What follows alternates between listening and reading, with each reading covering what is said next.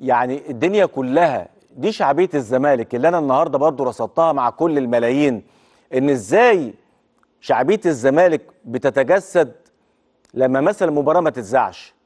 تشوف حالة ال ال الناس كلها على ال social media و و والنت و والمواقع والزمالك عمل إيه ويردوا على بعض شعبية كبيرة جدا شعبية كبيرة جدا. والنهاردة كل الجماهير كانت منتظرة إن نادي الزمالك يرجع بنتيجة مطمئنة وفعلا نادي الزمالك رجع بنتيجة مطمئنة. حتى فيريرا بعد بعد المباراة في المؤتمر الصحفي اتكلم عن المباراة وقال إن هو سعيد بأداء اللاعبين والزمالك كان أكثر جدية في الشوط الثاني هو طبعا وصف مباراة إحنا يمكن ما شفناهاش واتكلم على إن هو اتكلم مع اللعيبة بين الشوطين ده قاله في المؤتمر الصحفي. قال إن أداء الزمالك في الشوط الأولاني لم يكن في أفضل صورة والفريق لم يخلق هجمات كثيرة ولكن الأداء تحسن في آخر 10 دقائق في الشوط الأول بتغيير مركز شيكابالا للجبهة اليسرى ودخول زيزو في عمق الملعب. قال فيريرا برضو اتكلمت مع اللاعبين بين الشوطين علشان يكونوا أفضل حماس ولعبنا بطريقة جيدة في الشوط الثاني. وقال